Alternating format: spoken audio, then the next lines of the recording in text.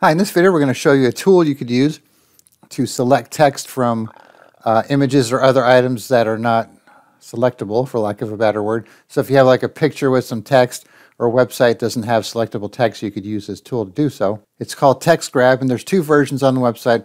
One's a standalone, like this one where it's just a zip file and you extract the uh, files and you can just run the executable. And the other one is a standalone executable that's supposed to be an installer, but it doesn't look like it installs anything.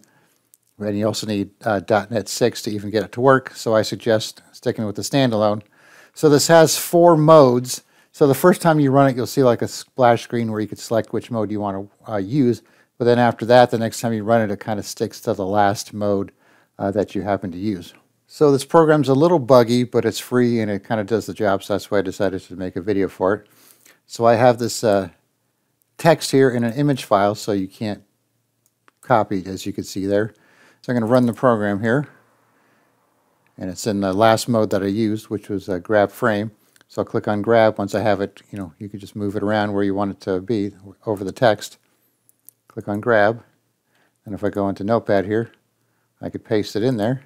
Then I could also do this option here, which is edit individual words in grab frame, which is like their own little text editor here. And then you could copy and paste from there, or you could format it, you know, do searches. I'll make a single line if you want to do that, which makes it look a little better. Now if I copy and paste this into Notepad here, like so.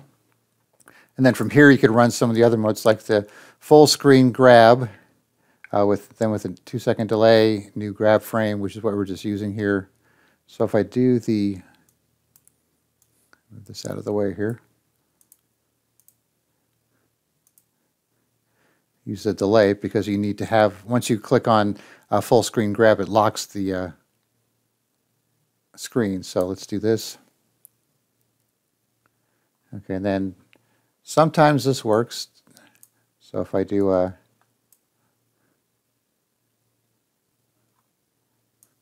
draw a box around it,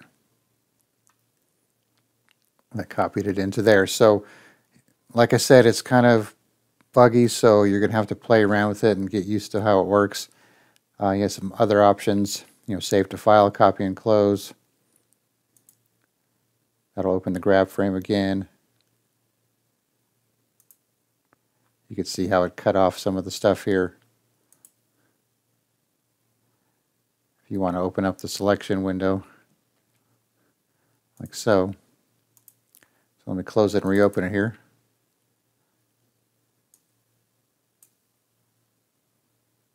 Then up top you have some things here. Uh, freeze image and frame, analyzes table. You have your settings here. So if you like a mode, um, once you try them out, you could come here and pick the mode you like. So there's the full screen mode, which I said was a little weird. The grab frame seems to work the best. I believe this will just open the text editor and then quick simple lookup. Um, you could like import a CSV file and do searches on it and that type of thing. Then you have some hotkeys, auto start. Uh, then you have the delay here. Just make sure you pick a save and close once you change your settings there. So let's do this quick simple lookup real quick.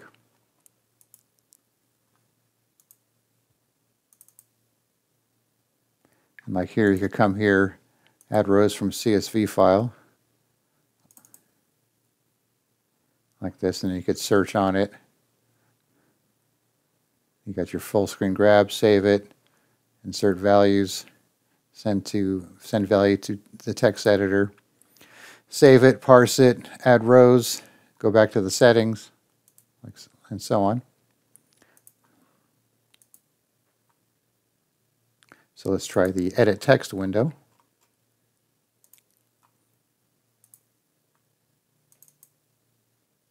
So that just opens the text editor where you could paste some stuff into here and uh, manipulate it using their text editor. And of course, you could um, start the full screen grab or a frame grab from here as well.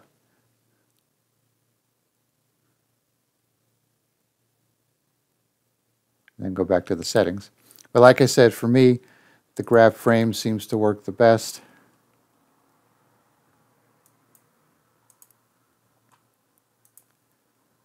because then you could just uh, put your box over what you want to copy there and click on grab. Then you could refresh if you want to start over. And then even something like this, if you drag it over here, grab that. Actually, let me shrink this down here. Sometimes it'll kind of close itself too, so just be prepared for that as well. So click on grab. And if I want to go into here, you can see it kind of copied the uh, file names and stuff like that.